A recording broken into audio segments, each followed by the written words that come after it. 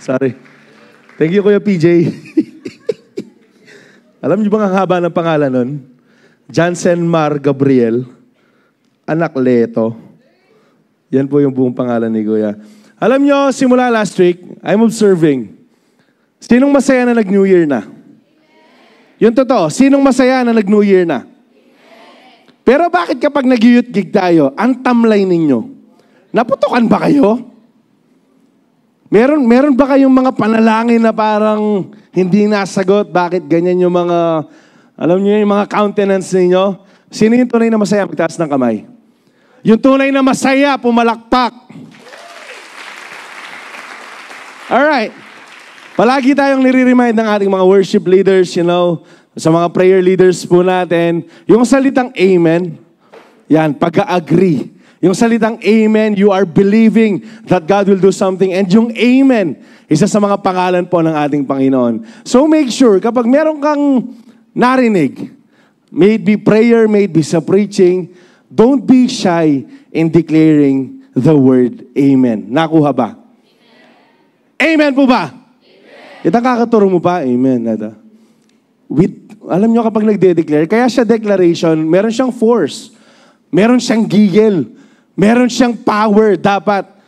Hindi, kunyari, no? Ano lang to, segue lang. Kasi napapansin ko lang, para lang natututo tayo. Kapag nagpapalayas kayo ng mga demonyo, hindi ko lang kung na-try nyo na. Try nyo, maganda, masaya. Kapag nagpalayas kayo ng mga demonyo, hindi mo sasabihin na, oh, in Jesus' name, ne. Makona ka, ne. O, oh, sakit. No! Si Jesus no nagpalaya, alam nyo, si Jesus kapag nagpapalayas siya, hindi man, ano, hindi man mahabang prayer eh. Out! Ay, makula rin demonyo. Why? Because there is power. There is this conviction kapag binabanggit yan. So sa atin, every time na meron pong prayers lalo na, kapag nag-agree tayo, let's shout. Let's declare yung amen po na yon. Amen ba? Amen! Praise God sa kalahating natututo. Ayan, I hope bago matapos tong araw na to, matuto tayong lahat.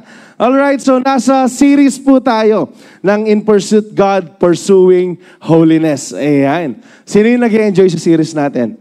Ay, baloyo, I encourage you, mag-attend din po kayo ng prayer meeting natin.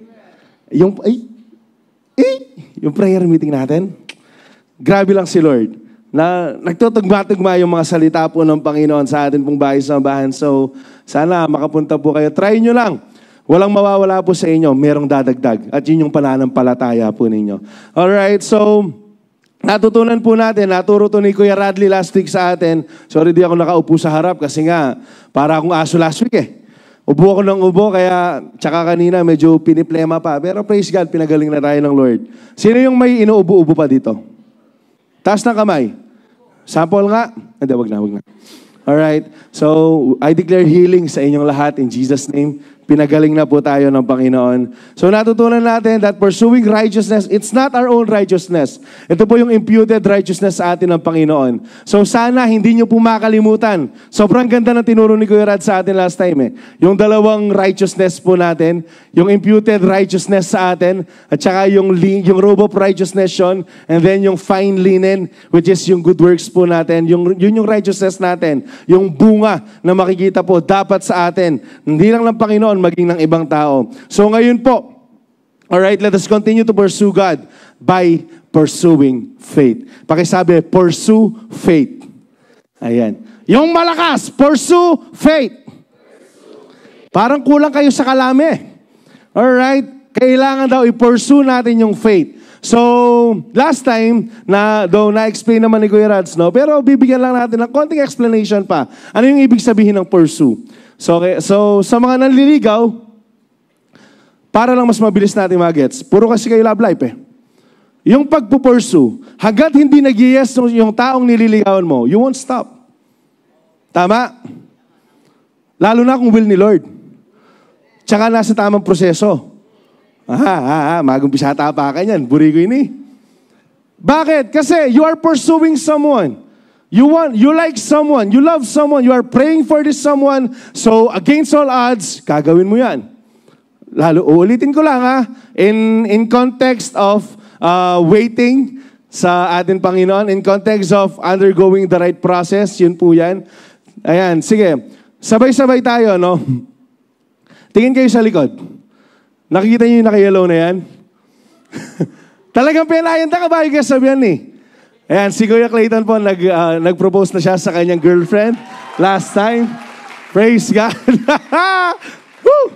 Praise God. Sabi ko din kaya, sobrang masaya kapag mayroong mga kabataan na nag-undergo ng right process and then nakikita mo na papunta sila dun sa next step ng buhay nila. He is one of the example. Nag-usap nga kami kanina, sabi niya, mixed emotion, kuya. Bakit? Kasi after all that we've done before, yung mga pagkakamali natin, and then, bumalik ka sa tamang proseso, sa tamang landas ng Panginoon, you will get enjoy. You will get to enjoy the promised land. So, ka, yung pagpupurso ni Kuya Clayton, hindi siya tumigil sa naging sila lang. Gagamitin ko siyang example. Bago eh. Hindi siya tumigil sa boyfriend-girlfriend lang sila. Ngayon, nag-level up siya kasi gusto niyang i-pursue yung, yung girlfriend niya, yung, ay sorry, yung fiancé niya. Fiancé! So, after ng engagement season nila, anong mangyayari? Kasal. After ng kasal, anong mangyayari? Babies, tapos pag-aaralin, hanggang sa mamamatay na tayong lahat. Kapag dumating na yung Panginoon or kapag oras na ng Panginoon. But what I'm saying is, hindi siya natatapos sa isang yes lang. Hindi porket nakuha mo na yung yes niya tapos wala na. No. Kaya nga yung pinag-uusapan po natin, this whole season, This whole season of January, ang pag-uusapan po natin is an endless pursuit. Pakisabi, endless pursuit. Walang katigilan na paghabol, pagsunod, paghangad nang mapataas po, mapalago ang ating pananampalataya. Lalo na ngayong araw na to. Ang sabi ng 2 Timothy 2, 22, reading from NKJV, free also from youthful lust. Alam nyo, mamimemorize dapat natin to bago matapos yung January. But pursue righteousness, faith, love, and peace, and with those who call on the Lord out of a pure heart. So ito daw yung gagawin po natin. Pursue. Non-stop to. Pagsunod. Alam mo yun, paghangad na, ay ali, eh ako to nang. Alam mo yung mga taong danupan? Yung mga taong patay gutom? Ano to, ah, in a negative sense? Yung mga taong patay gutom kahit busog na kakain pa rin. Ba't ganyan kayo makatingin sa akin? Grabe kayo. Ah. Nagbabago na nga ako eh. In Jesus' name. By faith yun eh. so, alam mo yan, kahit busog na, kukuha pa rin. Yung mga nagsasamji, palaging ganyan. Yung mga nag-unlimited, palaging ganyan. Bakit? Para sulit. Alam nyo, wala nang masusulit pa kapag kay Jesus kayo nag-crave na nag-crave. So sana palagi tayong magutom sa ating pong Panginoon. Sa mga salita po ng ating Panginoon. So dito, bakit sinabi na flee from youthful lust? Kuya Zap, bakit? Youth lang ba yung mga makasalanan? Hindi. Diyan kasi nagsisimula lahat. Tama, mali. Alam nyo, saan nagsisimula yung kasalanan sa kabataan? Curiosity. Pakisabi, curiosity. Ano kaya lasa ng Red Doors? Ano kaya lasa ng gin bilog? Ano kaya lasa ng pomelo tapos, ati pa makanta, pomelo? Yung Red Doors na merong Max Red. Ano kaya lasa ng Emperador? Ano kaya lasa ng vape? Ano kayang lasa ng sigarilyo? Ano kaya ang pakiramdam kapag merong girlfriend na kahit hindi pa tama yung oras? Ano kaya ang pakiramdam kapag nakipag-intercourse ka kahit hindi mo asawa? Diyan kasi nagsisimula lahat. That's why us here in this pulpit are continually saying, uh, saying to you, reminding you, na dapat layuan natin yung mga bagay na yan. Ang kaso, meron talaga matigas ang ulo eh, no? Tingnan mo yung katabi mo. Tingnan mo yan. Hindi yan yon. Kasi binago na ni Lord yan. Amen? yung mga medyo tumatawa-tawa, yan yung mga medyo natitira-tira ngayon. Alam nyo, 2024 na, kapatid. Pabago na tayo sa Lord. 2024 na, let's flee from youthful lust and let us pursue righteousness, faith, love, and peace. I-pursue lang po natin si Jesus ngayong buong taon na to. And last na lang, bago ako magpatuloy, no? Nakikita nyo itong mga to? Mga boxes na yan, yan po yung boxes ng prayer requests and God-answered prayers. God-answered prayers ng 2023 at prayer requests ng 2024. Hindi ko, alam ko meron pang papel dun sa likod. You can still write your prayer request. Ihulog ninyo dyan para po patuloy na maipanalangin po natin. Huwag kayong mawala ng pag-asa. Okay? Okay? Alright.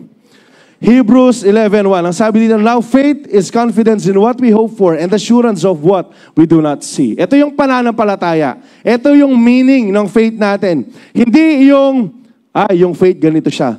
Parang sasakay ka ng jeep, hindi mo, naman, hindi mo naman tatanungin yung driver kung okay ba yung sasakyan. Hindi yung uupo ka sa pew, tapos hindi mo naman check yung, yung likod kung kaya ka niyan. Hindi. That's not faith. Why? Kasi yan nakikita mo eh. Yung jeep nakikita mo, yung driver nakikita mo eh. Pero yung faith ang sinasabi dyan, kahit wala kang nakikita, magpasalamat ka na. Kahit wala kang nakikita, nananampalataya ka na tapat ang Diyos na nangako sa iyo. And that's faith. So sa atin, I hope, wag tayong maging stagnant lang. Wag tayong maging kontento sa kung anong level ng faith yung meron tayo ngayon. Sana palagi nating hangarin na palagi lumago ang ating pananampalataya. So first, to pursue faith, it's important to devote yourself to Christ more. Pakisabi, devote yourself to Christ. Devoto. Alam niyo yung nangyari last time? Yung Black Nazarene? Tingnan mo yung katabi mo, hindi yan yon.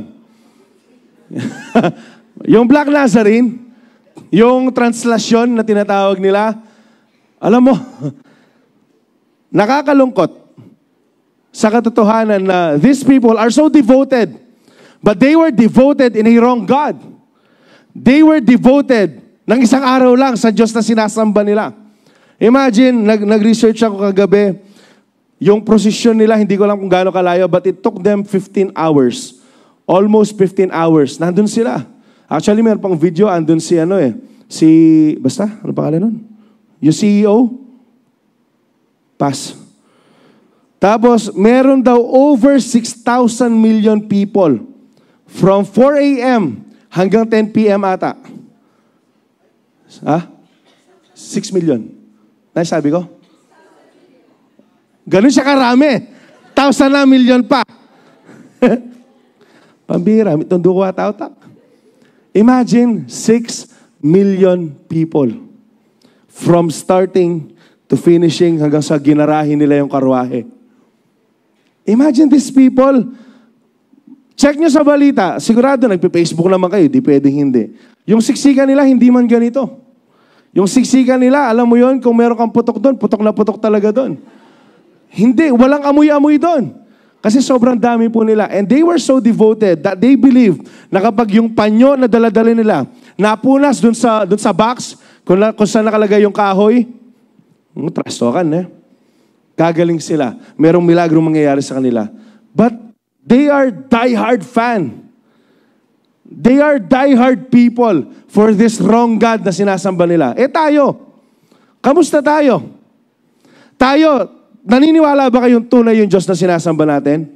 Eh, ba't kapag magpuri tayo, ma- may totonduta mo? Eh, bakit kapag nag-worship tayo, kapag ini-encourage tayo, kailangan pang bombahin yung mga Kristiyano? Dapat hindi. Kasi tayo totoo yung Diyos natin eh.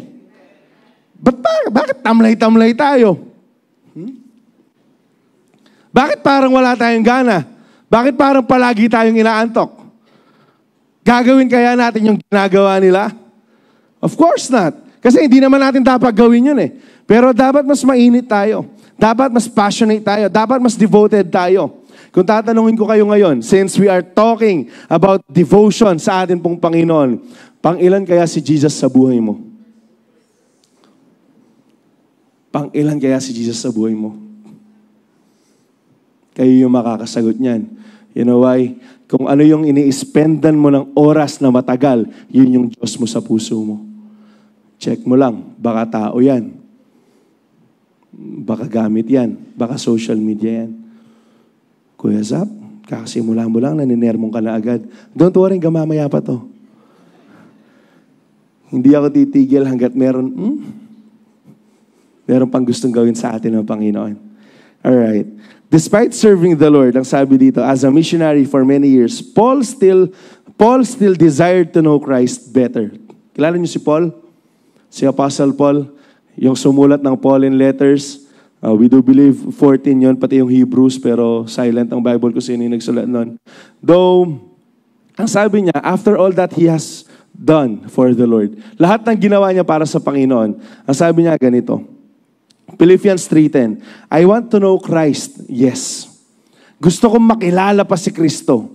To know the power of His resurrection and, partic- uh, and participation in His sufferings, becoming like Him in His death. Imagine this person, one of the humblest person na nakilala ko. Most humble person. Why? Because si Paul, iba yung level niya. Iba yung resume ni Paul. Bakit? Grabe yung mga ginawa niya para sa Panginoon. Nung bago pa siya naging Kristiyano, nung bago pa siya in-encounter ng Lord sa Damascus, siya, siya yan, no? Potal, ako sasabihan eh. Alright? Bago niya ginagawa he is the, the Pharisees of the Pharisees. Wala siyang binrake na law. Pero anong sinabi niya? After all that he has done, I want to know Christ. Hindi niya ba kilala si Kristo? Hindi niya ba kilala si Jesus? He knows Him. Kilala ni Paul kung sino si Jesus. But this is the reality of Christian life. Habang nakikilala mo si Jesus, mas gusto mo siyang makilala pa. Habang lumalalim ka sa Panginoon, mas nai-in love ka sa Kanya. Habang nakikilala ka, uh, nakikilala mo, nagdidig ka sa ating Panginoon, sa salitaan ng Panginoon, yung eagerness mo para sa Kanyang salita, tumitindi din. Kasi hindi mo pwedeng sabihin sa akin, hindi kuya, mahal ko si Jesus. Number one siya sa puso ko, pero hindi ka nagbabasa ng Bible. That's impossible. Pwedeng kilala natin si Jesus, pero wala tayong maayos na relasyon sa Kanya. Keep that in mind. Paalala lang, pwedeng kilala natin si Jesus, pero wala kang maayos na relasyon sa Kanya. So, 1 John 2, 3 to 4. And we can be sure that we know Him if we obey His commandments. Sigurado tayo na kung talagang kilala natin ang Panginoon, susunod tayo sa Kanyang mga salita, sa Kanyang mga pinag-uutos sa atin. If someone claims, I know God, kilala ko ang Panginoon, I know, I, I know God, I know Jesus, but doesn't obey God's commandments, that person is a liar and is not living in the truth. Sino dito yung may, may gusto sa mga taong sinungaling? Sino yung may ayaw sa mga taong sinungaling? Taas ng kamay. So ano talaga? Gusto nyo? Ayaw nyo? Gulo nyo ah. Sinong may gusto sa mga taong sinungaling? Yung kunyari meron kang kaibigan, pero alam mo palagi siya nagsisinungaling, Ay, hi, hi best friend. Gusto nyo ba yon? Ayaw natin eh. Gusto natin yung taong totoo. Pero tayo palagi nating sinasabing mahal natin si Lord, pero hindi natin siya pinaprioritize. We are lying. Tayo mismo, nagsisinungaling tayo. Ay, bala kay dyan. Sana maging totoo na tayo ngayong 2024. Sana. Obedience to God's word is evidence that we truly know Him. Sino nagmamahal sa Lord? Sumusunod tayo? Uru. Ulit. Sino nagmamahal sa Lord? Sumusunod ba tayo? Praise God. Sino nagmamahal sa mga parents niya? Sumusunod ba tayo? Uy, nabawas ha? Lumakas pero nabawas. Kung mahal nyo, sundan nyo.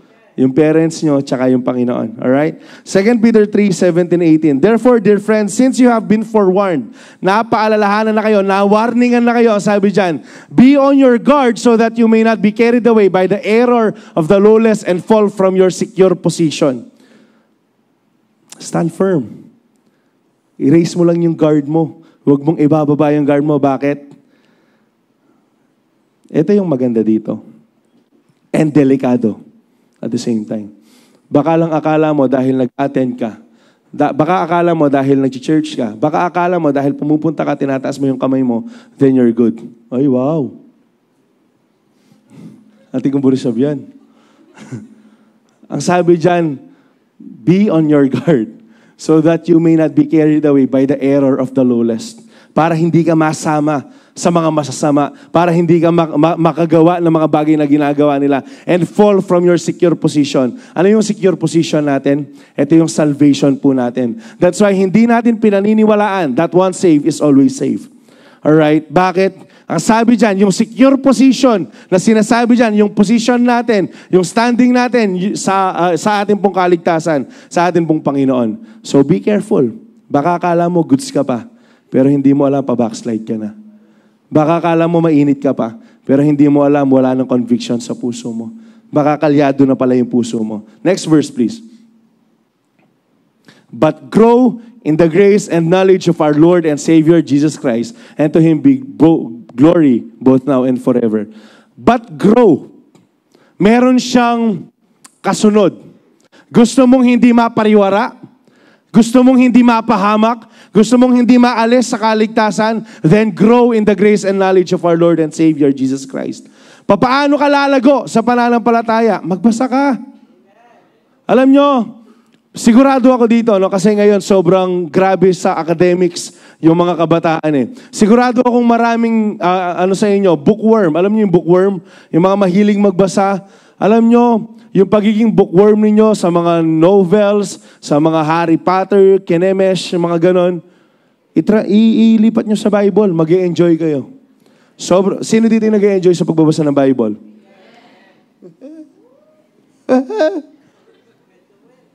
Sige, bida ka dyan eh. Sino yung nag enjoy sa pagbabasa ng Bible? Sure? Sure kayo dyan? Baka nakakaisang verse pa lang kayo. Kasi, ay, bisa ko manyermon talaga eh. Paano mag-grow yung faith mo kung hindi ka kumakain? Paano mag-grow yung faith mo kung hindi ka nagbabasa ng salita ng Panginoon? Sound. Bala mo chukoy HR, PC ah. Sound check.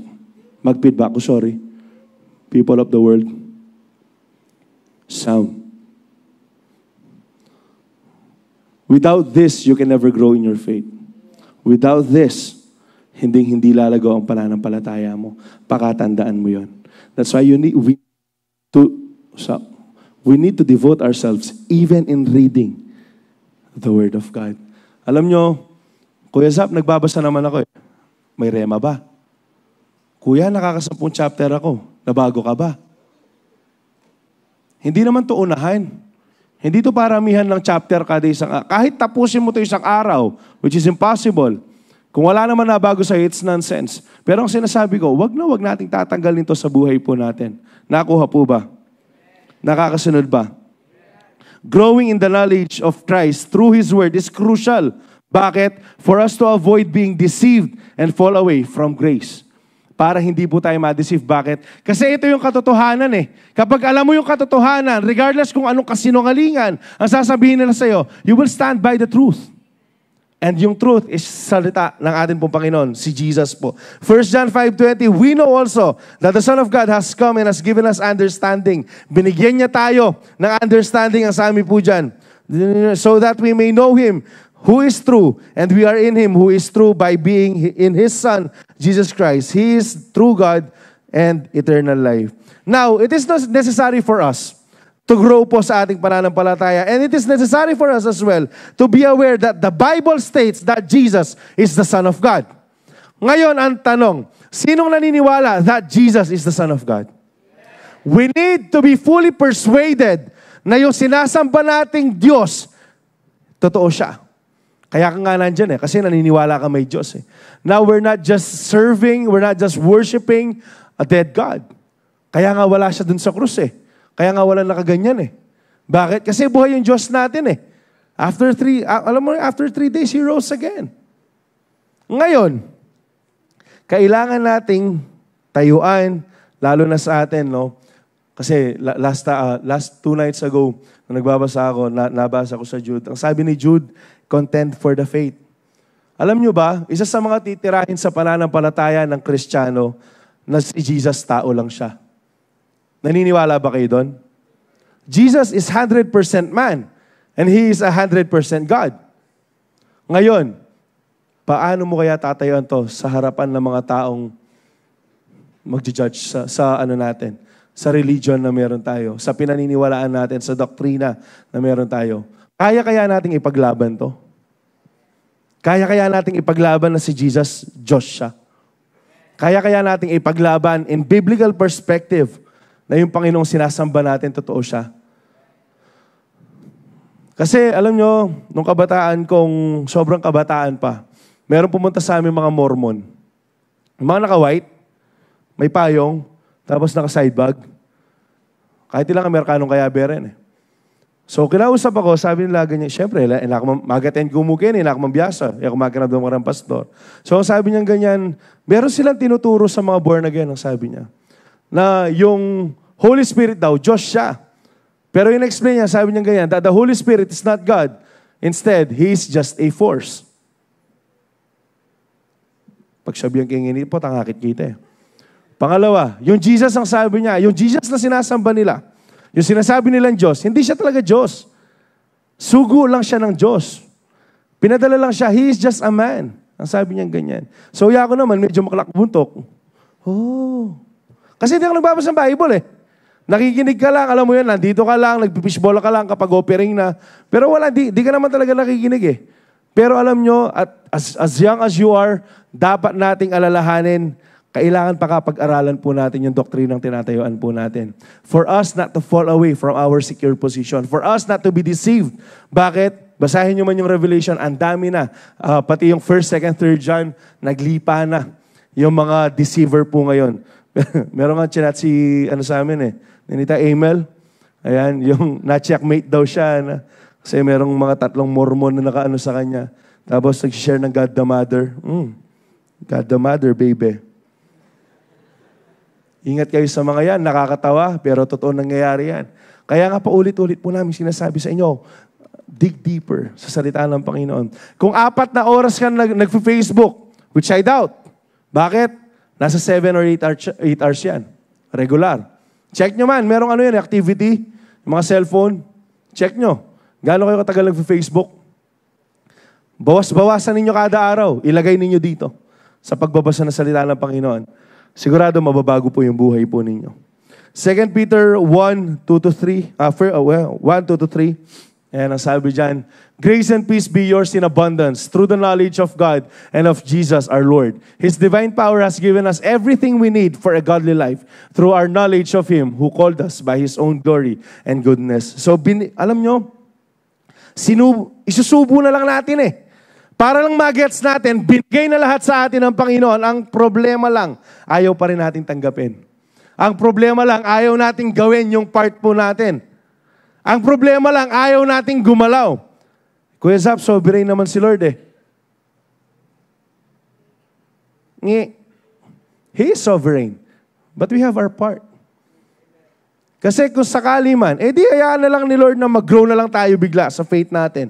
Eh di, kontrolin na lang tayo ni Lord. But hindi kasi nagko-control si Lord eh. He gave us this free will. And kapag yung free will natin, alam mo yon i- i- inangkla natin sa will ng Panginoon, you can never go wrong in obeying God.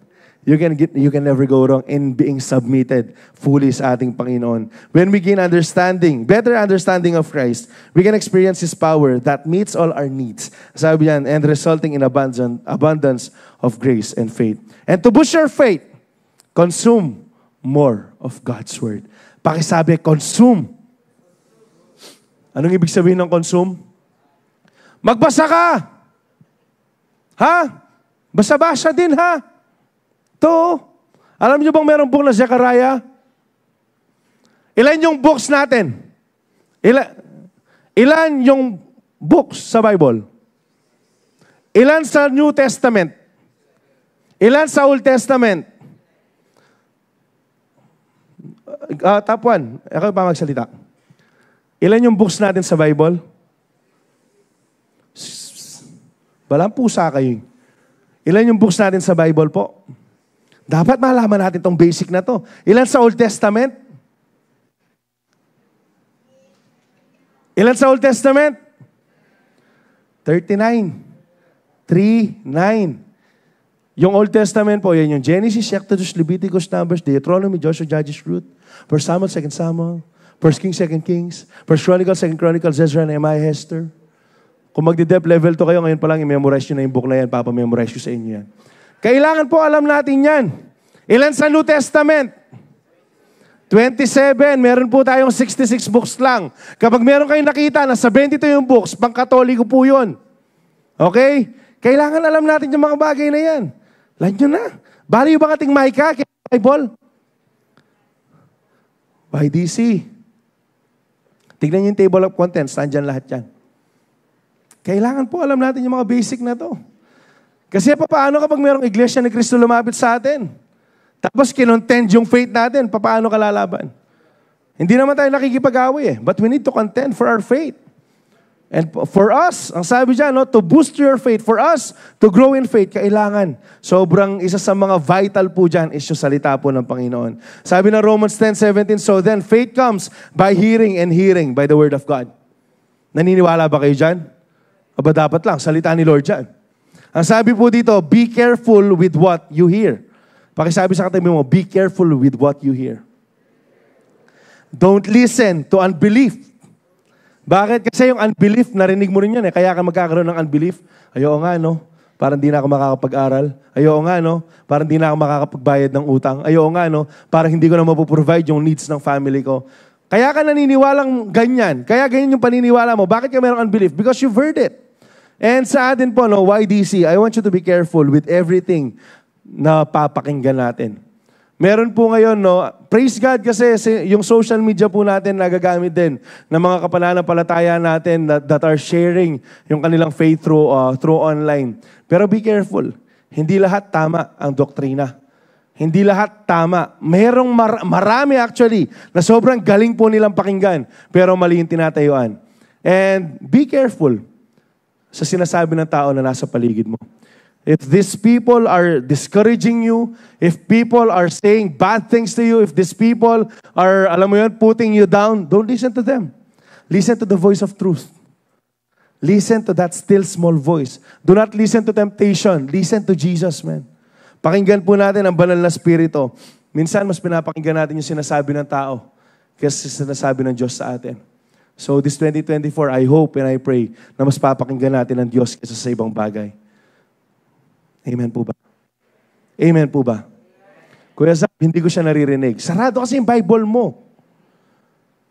Kuya Zap, hindi ko siya naririnig. Eh, paano kapag nagpipray ka, ikaw lang yung nagsasalita? Alam niyo ba, sa prayer, try mong manahimik. Try mong magkaroon ng silent moment sa prayer mo. And then you, you get to hear Jesus. Na meron pala siyang sinasabi. Na gusto pala niyang makinig ka rin. Makinig kayo sa ating Panginoon. Second, to pursue faith, it's important to push your prayer request towards God. Pakisabi, push. Alam mo ibig sabihin ng push? Pray. Very good, children. Hindi tayo titigil kakapanalangin. Okay? Dapat dire-diretso lang. Kahit anong mangyari, kahit gaano kahirap. Philippians 4.6 Do not be anxious about anything, but in every situation, by prayer and petition, with thanksgiving, present your request to God. Bago mo i-present lahat ng request mo sa Panginoon, ang sabi diyan, don't be anxious. Huwag kang magulumihanan. Yung mga, yung mga worries mo sa buhay, isurrender mo sila sa Lord. Why? Sabi din ng Bible, no, I just forgot the exact verse, uh, cast your cares for Him because He cares for you. Oh. Mm. Isipin mo, binaliwala ka ng tao, pero siya, mahal na mahal ka. Oh. He cares for you, man. Sobrang, sobrang mahal ka ni Lord. Okay? Pakisabi nga sa sarili mo, mahal ka ni Lord. Isa pa, the Lord cares for you. Ay, kanya man. Thank you, Lord.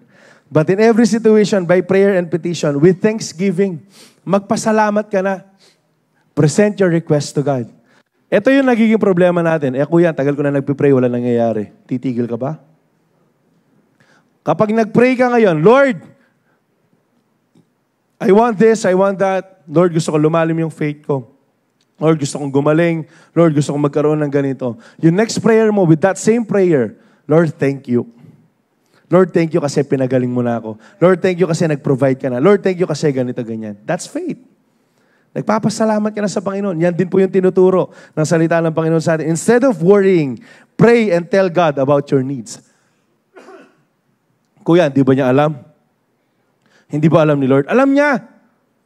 Kaso sobrang excited lang ang Lord kapag sinasabi natin sa Kanya yung mga prayers natin. And He just loves blessing His children. Sobrang mahal, sobrang gusto ng Panginoon na pagpalain yung mga anak po niya. So, let us learn ngayon po no from the parable of the persistent widow kung ano nga ba yung pananalangin. Kung ano ba ano nga ba yung ibig sabihin ng push your prayer to God. So, hindi ko na sila babasahin kasi sobrang haba nito. Luke 18, 1 to 8. Pero merong isang kwento, yan, na merong isang balo, widow woman, na lumalapit siya sa isang wicked judge. Ayan. Lumapit siya sa isang wicked judge at ang sinasabi niya, Give me justice in this dispute with my enemy. Give me justice. Ngayon, sinabi ng verse na yan na hindi na natin babasahin, pero ipapakita naman lang nasa AVS natin yan. Magaling yung ngayon eh. I appreciate you guys. Thank you. Itong judge na to, he either loves God or loves people. He neither care about God or care about people. Wala siyang takot sa Diyos at wala siyang pakialam sa mga tao. So, ganyan siya kasama, yung judge na to. Pero itong widow na to, she is so persistent na ang sabi dyan, ang sabi ng judge, no, nababaliw na ako sa'yo. Nasisira ulo ko sa'yo. Bakit? Kasi pabalik-balik siya, kinukulit siya ng widow. Hindi siya tumitigil, no, give me justice about this uh, dispute. Give me justice, give me mercy. Ako dapat yung manalo dito. Napaulit-ulit na sinasabi sa judge. Alam nyo, sa kakulitan ng babae na to, sa kakulitan ng widow na to, ang sabi niya ganyan, Ibibigay ko itong request niya. Hindi dahil meron akong takot sa Diyos and I care for, for people. No. Pero ibibigay ko yung request niya kasi napakakulit niya. Kasi pabalik-balik siya sa akin kasi sobrang persistent niya. Ang sabi dyan. And yung verse 7 and 8, basahin po natin, please.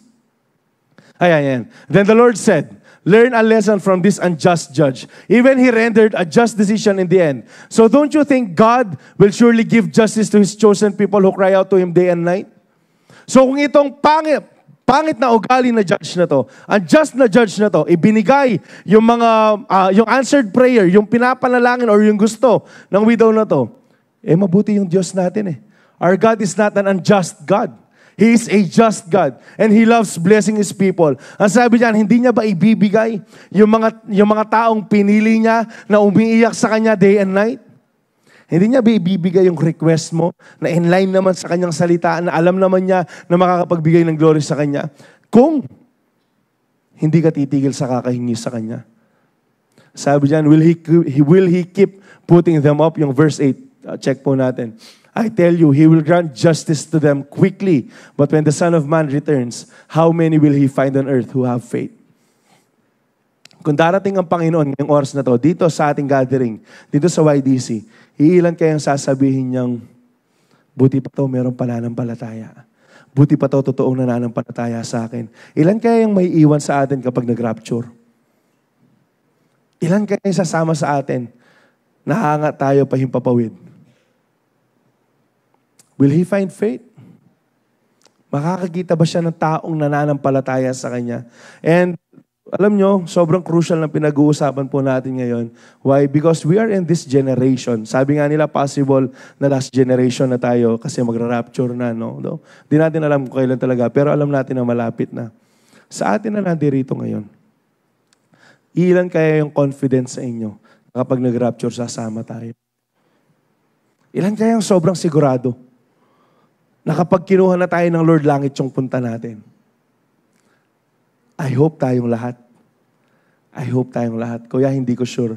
Sana ngayong araw na to maging sure ka na sa pananampalataya mo. That's why sobrang vital ng, ng, ng faith sa atin po. Kaya tayo nandito because of faith. Kaya tayo naghihintay sa Lord because of faith. Kaya tayo naghihintay ng mga prayer request natin because of faith. And dahil sa pinag-uusapan po natin, whatever it is na pinapanalangin po natin, huwag tayong sumuko sa Lord. Huwag tayong tumigil, kakapanalangin po natin. May tanong ako. Sino yung may, may prayer request pa? Taas ng kamay. Dalawang kamay. Merong iilang di nagtataas. Praise God, wala lang prayer request. Pag-pray nyo na lang kami. Alright. Lahat tayo meron, di ba? Meron, sino dito yung, sige, taas nyo lang ang kamay nyo ha, kapag kayo ito. Sino dito yung humihingi sa Lord ng uh, restoration ng relationship? Sa family? Meron, madami-dami. Sino dito yung nag, nag-aas sa Lord ng salvation ng family? Dami pa rin. Kahit ako, kasali ako dyan. Sino dito yung nag-ask sa Lord ng provision? Ayan. Huwag tayong tumigil. Huwag kang tumigil mag-pray. Kuya Zap, imposible na kasi. Sa'yo. Sa Lord, may imposible. Mahirap eh, Kuya Zap. Sa'yo. Sa Lord, may mahirap ba? Wala. Huwag mong tignan yung sarili mo sa sitwasyon mo. Tignan mo yung Diyos sa sitwasyon na meron ka. Tignan mo meron magbabago sa sitwasyon mo. We never stop praying not because God is hard to get, ang sabi niyan.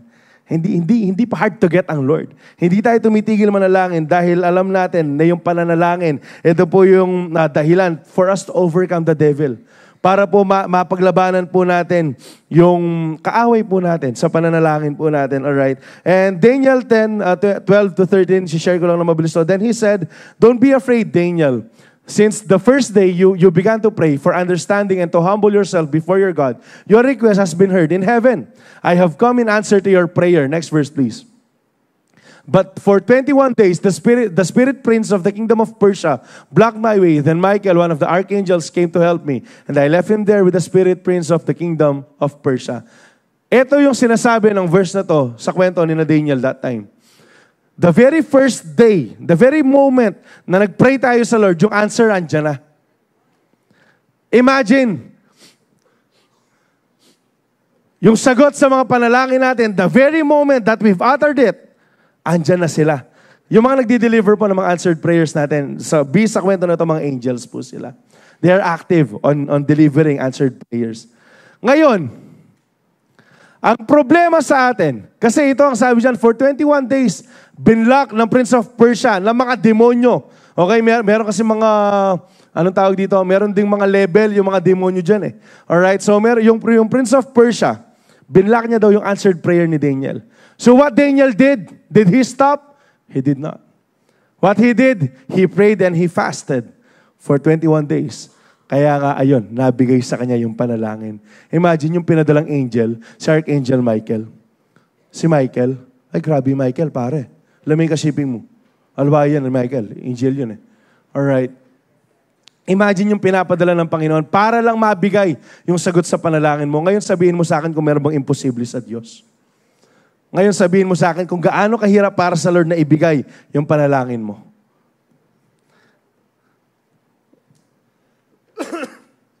Don't let anyone, including the devil, stop you from, great, from getting your breakthrough. Salin nyo din dyan yung sarili ninyo. Don't let anyone, even yourself, including the devil, stop you from getting your breakthrough. You know why? One of the greatest limiter sa atin pong Panginoon. Kung ano yung mga nakakapag-limit sa Panginoon? Una, faith natin. Gaano kalaking faith mo? Because God can do more than we could ask or imagine. Yung Panginoon kaya niyang gumawa ng mahimalang bagay sa buhay po natin. Ang tanong, gaano ka naniniwala na kaya niyang gawin? That's one of the greatest limiters. So sana, sana po palakihin natin yung sisidlan po natin, yung paniniwala po natin sa Panginoon. So, sabi dito, no, isa sa mga paborito kong uh, kwento na ngayon, simula kahapon, naging paborito ko na siya. Yung Matthew 9, 27 to, 27 to 29. After itong pagalingin ni Lord, pa, buhayin ni Lord yung mga, sa, sa buong context na to, nagpagaling si Lord, no? As Jesus went on from there, two blind men follow him. Ilang bulag? Two, very good children. Calling out, Have mercy on us, son of David. When he had gone indoors, the blind men came to him and he asked them, Do you believe that I am able to do this? Yes, Lord, they replied. Yung verse 29 ang sabi dyan, And then he touched their eyes and said, According to your faith, let it be done to you. Check natin yung faith ng dalawang bulag na to ha. Sige, pakibalik po sa 27.20. As Jesus went on from there, two blind men follow him. So bulag sila. Basically, hindi sila nakakapagbasa ng Torah na, nakukuha. Bakit sila hindi nakakapagbasa? Kasi nga, bulag sila. Very good. Imagine, dalawang bulag na tao. Sigurado, they heard from Jesus. They heard about Jesus. What they did is this. Antay Jesus, tokyan tayo. Bulag sila pero sumunod sila sa Diyos. Imagine the struggle. Imagine yung hirap ng wala kang nakikita. Patayin mo nga yung ilaw, pumikit ka, wala ka na makikita eh. Pero itong mga to, all their lives, no? Bulag sila. But when they heard that Jesus is there, sumunod po sila sa Panginoon. Sigurado, merong crowd na sumusunod kay Jesus eh. Imagine the struggle of this two blind men. Pero hindi sila natapos sa sumunod lang sila. Ang sabi dyan, when he had gone indoors, nung pumasok na sa isang bahay, anong, anong ginawa nila? The blind man, the blind man came to him. Imagine, pumasok din sa bahay itong bulag na to. Itong mga bulag na to. Why? Because they want to pursue Jesus.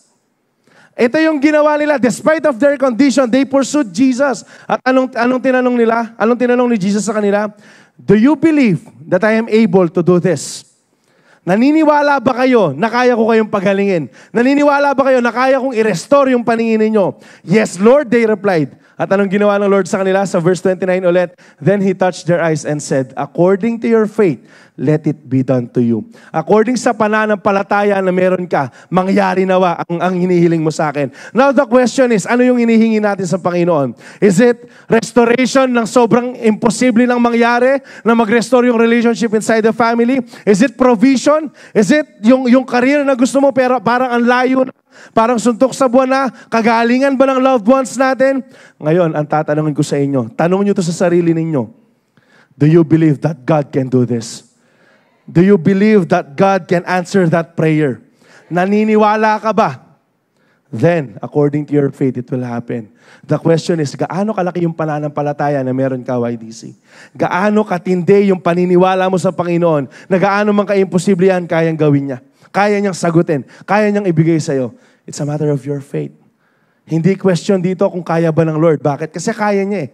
Ang tanong, Ready ba yung pananampalataya mo? Handa ka ba para sa sagot sa pinapanalangin mo? Ngayon, sabihin mo sa akin, anong imposible sa Diyos? Ngayon, sabihin mo sa akin, anong mahirap sa Diyos? Eh kuya, wala ka naman sa posisyon ko. Hindi mo alam yung hirap na pinagdaanan ko. Paano hindi ako magigive up? For how many years? I've been praying for this. No magtapalan tayo ng sagot sa mga panalangin. For how many years I've been praying for salvation of my family. For how many years I've been praying for someone. For how many years I've been praying for provision. And God never failed. He gave them those answers. Why? Because that's according to my faith. Now the question is, ano yung faith na meron ka? Handa ka bang sagutin ng Lord yung hinihingi mo sa Kanya? According to your faith. Let it be done according to your faith. Sa pananampalataya lang po natin. Gaano kalaki yung pananampalataya mo. I do believe, no, one of the uh, things na pinapanalangin natin this 2024, if we are to read this prayer request, if we are, if we are to check them, marami dyan salvation ng family. Tama. Tama ba? Kasi gusto nating lahat eh. Ayaw nating maging selfish. We want them to be saved. Ang tanong, ready ka ba na makasama mo silang mag-service? Alam niyo ba, isa sa mga, isi-share ko lang na mabilis, isa sa mga CEO ko, si Kuya Romer, no, ay, abanggit ka na, ulit. Isa sa mga CEO ko, si Kuya, ayan, gusto niyang ma-save yung family niya. And alam niyo yung way para, para makapag-share siya, alam niyo yung way para masama niya yung family member niya, gumagastos talaga siya. Yung mga sinisave niya, talagang ginagastos niya for, for his family para makasama niya dito. And yung nanay niya, nagsisiyo na. Yung pamangkin niya, nag-a-attend na. Yung ate niya, last time na nasabi niya sa amin, nag-attend din. Tapos, bali niyo, bakit? Kasi gusto niya eh. Pinapanalangin niya at binigyan siya ng resources ni Lord para magawa niya yun. Para ma-save yung family members niya. Ngayon tayo, ready ba tayo? Baka kapag naman binless ka ng Lord, sarilinin mo lang. Para magamit sana, para, para ma-save yung family mo. Sa mga, sa mga forerunners natin, tayo nga kayo mga forerunners, please. Sa lahat ng mga forerunners. Yan, yung mga forerunners natin. Tingnan nyo nga sila, guys. Sige, look at them. Look at them. Yan. Alam nyo ba yung mga tao na yan? The very reason kaya nandito pa kayo kasi pinapanalangin nila kayo. And hindi sila tumigil sa kakapanalangin sa inyo. Alam nyo ba na yung mga forerunners na nakatayo na yan are enduring so much. Meron silang mga personal struggles nila sa buhay nila. Meron silang mga laban na nilalabanan nila. Meron sa kanila napapagod na. Pero nagpapatuloy sila. Why? Because they love you guys. At pinapanalangin nila kayo. Kaya nga nandyan pa rin kayo eh. Kaya nga hanggang ngayon nag-a-attend pa rin kayo eh. Aminin natin at hindi. Ilang beses na tayong tumakas sa mga leaders natin. Uy, adara nga lo. Oh. Pero bakit hanggang ngayon nandyan kayo? First, kasi nagdesisyon kayo. Pangalawa, kasi pinapanalangin nila kayo. They are giving themselves to you guys para mabuhay yung pananampalataya ninyo, para lumago yung pananampalataya ninyo. Ngayon, tatanungin ko kayo, ano lang to? Segue lang, sorry. Sino dito yung nagpipray para sa mga forerunners nila? Sino dito yung nananalangin para sa mga forerunners nila? Alam nyo, dapat lang. Bago tirahin yung CEO ninyo, forerunners nyo yung tinitira. Tingin nga kayo sa kanila.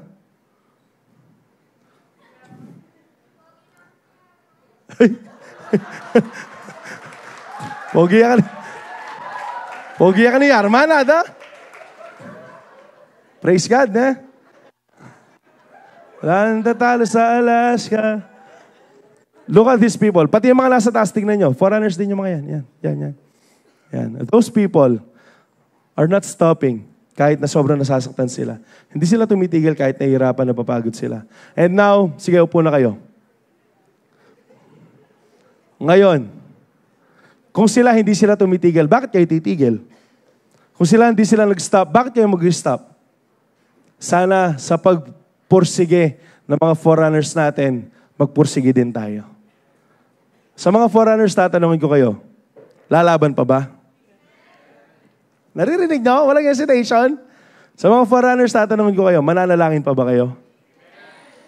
Naririnig niyo sila?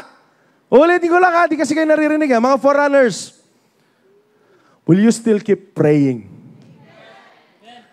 Mananampalataya pa ba kayo? Naniniwala ba kayo na mag-grow yung mga siyo ninyo?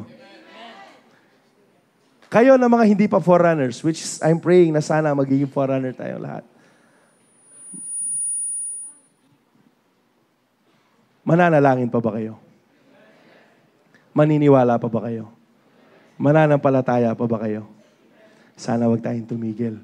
Bakit? Because this year, 2024, maraming inihanda po sa atin ang ating Panginoon.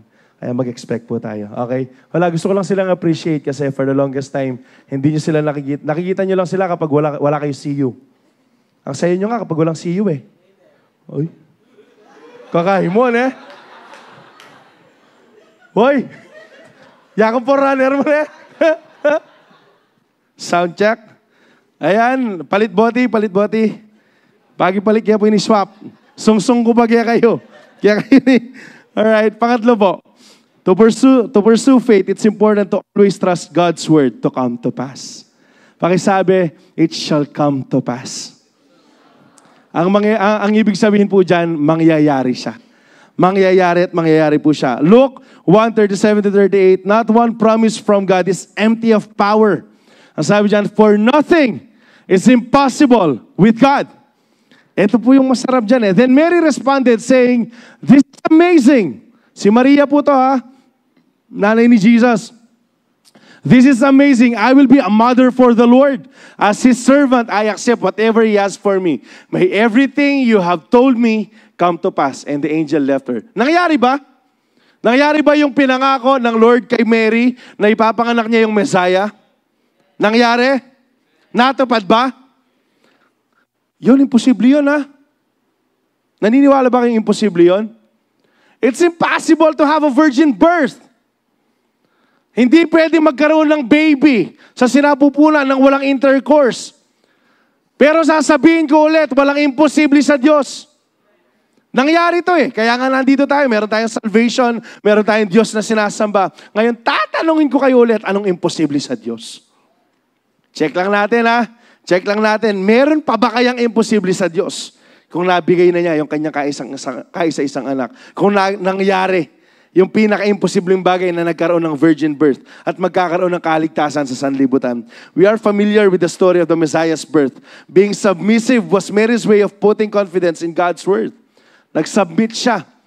Naniwala siya at nagpatuloy siyang manghawakan sa, sa kwento na to. And every word of the Lord came to pass.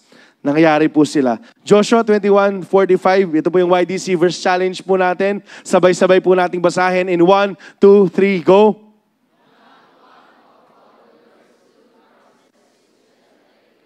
Basahin natin yung merong confidence. Basahin natin na totoo siya. Basahin natin na merong mangyayari habang umiinom ako. Okay lang? Okay, one, two, three, go!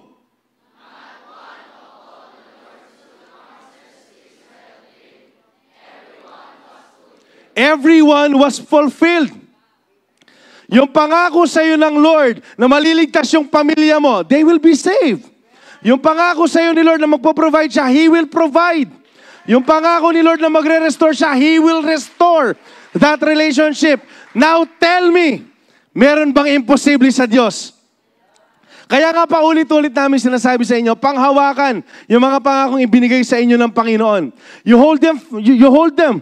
Alam mo yan, panghawakan, yakapin mo sila. Tapos palagi mong i-remind yung sarili mo that every word was fulfilled, na walang pangako ang Panginoon na hindi niya tinupad. Bakit? Because He is a just God. Tapat din siya sa kanyang mga pangako, tapat siya sa kanyang mga salita. Ngayon, Kuya Zap, eh wala akong pangakong pinangahawakan niya eh. Better start reading your Bible. Better start, better start claiming those promises of God. Bakit? Para sa atin sila. Para sa atin po sila.